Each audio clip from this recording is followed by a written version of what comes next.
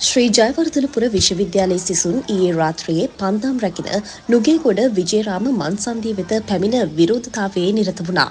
ඒ අත්‍යවශ්‍ය භාණ්ඩවල මිල වැඩිවීම ඇතුළු කරුණු කිහිපයක් මුල් කරගනිමින්.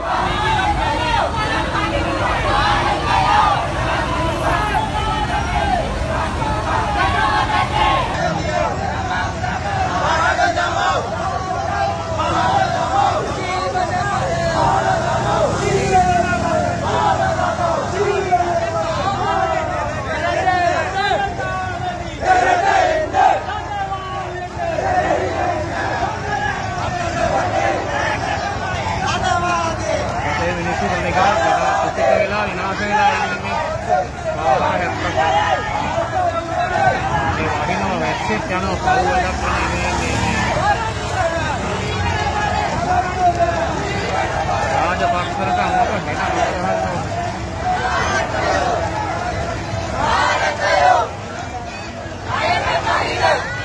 ඇදහැළුණු වැසි මධ්‍යයේ වුවත් සිසුන් විශාල පිරිසක් පැමිණ සිටීම නිසා හයිලවල් මාර්ගයේ වාහන ගමනාගමනයටද බාධා එල්ල වුණා.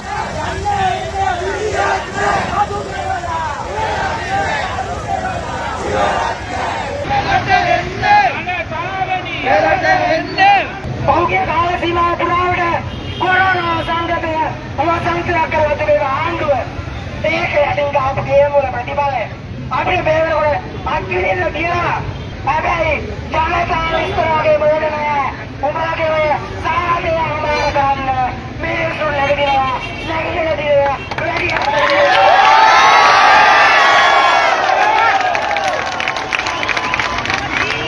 මිරිහානේ කලබලය සිදුවී පැය විසි හතරක් ගතවන්නටත් මත්තෙන් මිරිහානට කිලෝමීටර් තුනක් පමණ නුදුරින් පිහිටි විජේරාම මන්සන්දියේ මෙය පැවැත්වීම විශේෂත්වයක්. මෙවැනි වටිනා තොරතුරු කාටත් කලින්ම දැනගන්න දැන්ම අපේ YouTube චැනල් එකට සබස්ක්‍රයිබ් කරන්න.